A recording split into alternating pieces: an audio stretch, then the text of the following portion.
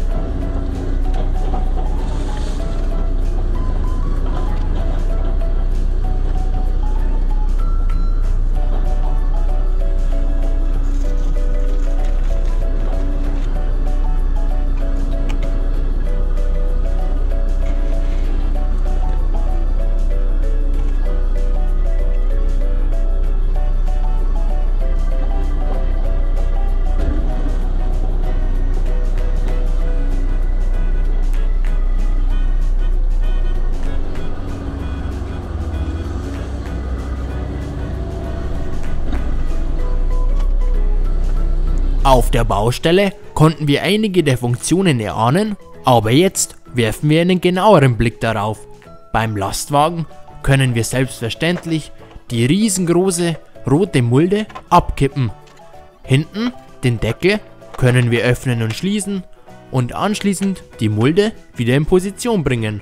Vorne können wir beide Türen öffnen.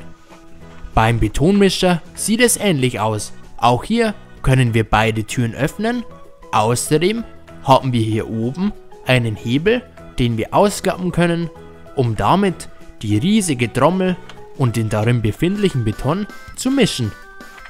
Hinten können wir die Rutsche erweitern, um den Beton an die richtige Stelle zu bekommen. Aber nun weiter zum riesigen mobilen Baukran.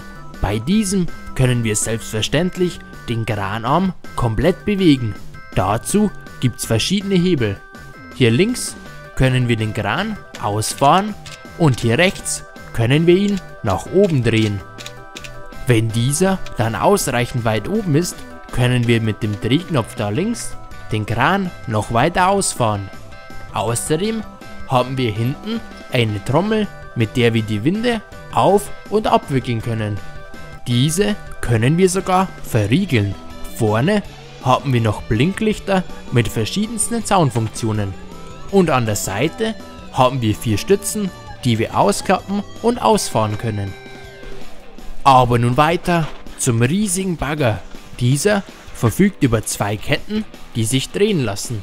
Außerdem hat er natürlich eine riesige Schaufel und einen Baggerarm, den wir mit dem schwarzen Hebel da oben komplett bewegen können.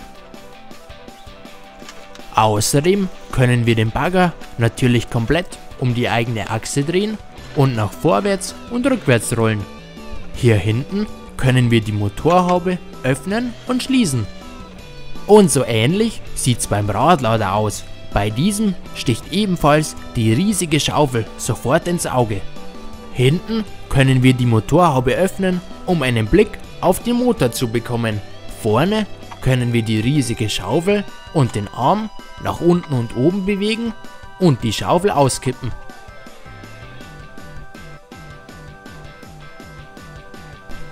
Aber nun weiter zum nächsten Spielzeug, nämlich den Mini-Bagger von Cat.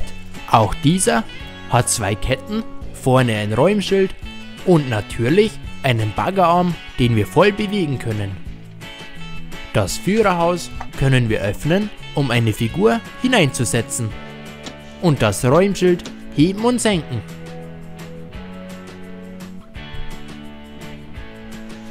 Als nächstes haben wir dann noch den kleinen Bulldozer.